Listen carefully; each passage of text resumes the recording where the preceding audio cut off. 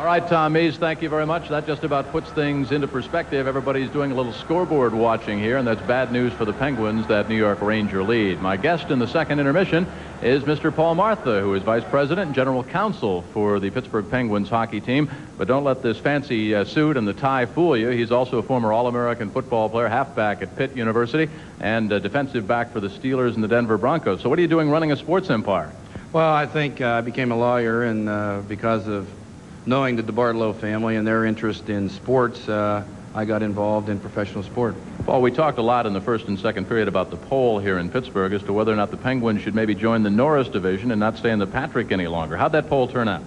Well, we pulled it last year, and the poll was in favor of us really moving to the Norris division. We did it again this year, Jim, and uh, the preponderance of our fans uh, feel that we should remain in the Patrick division. Speaking of last year, a lot of talk last year about the Penguins perhaps leaving Pittsburgh. I know you were instrumental in negotiations with the city and obtaining a lot of compromises. You're kind of like Perry Mason. You haven't lost a case. Well, we felt that uh, our franchise uh, had become somewhat like the arts, and we needed help in a market like Pittsburgh to, to keep the Penguins here. And uh, the DeBartolo family, uh, they wanted to remain in sports. They have a terrific investment here in Pittsburgh in professional sport. And because of them and their willingness to stay, we were able to work something out with the city, and uh, we're here. A very young but a good coach in Bob Berry, very effective, coach of the year according to some. Mario Lemieux, the franchise, but a very young team. You look out there and you see so many young faces. It's just a matter of waiting for them to mature? Well, I think that's a problem we're having tonight. Uh, the team was really uptight before the game, and uh, whether or not they came out prepared to play tonight, I really don't know. But uh, we're suffering right now from youth and inexperience when we get down to the, the race into the playoffs and, of course, to go into the playoffs themselves.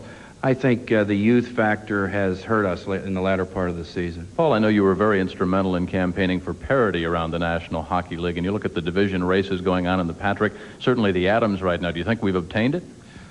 Uh, to some extent. I think one of the reasons uh, our, our request to move to the Norris Division was the the really lack of parity when it comes to making the playoffs. You have some teams like ourselves this year and uh, the Hartford Whalers that accumulate a number of points that if they were in another division, they would be in the playoffs.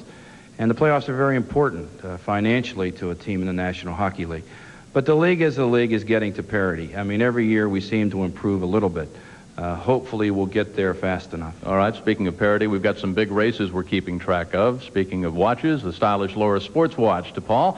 Lorus, the official timepiece of ESPN. There's our score after two. We're tracking the other races going on, the Flyers and the Rangers, along with a lot other. So we'll be rejoining Tom Mees and Sports Center after these messages.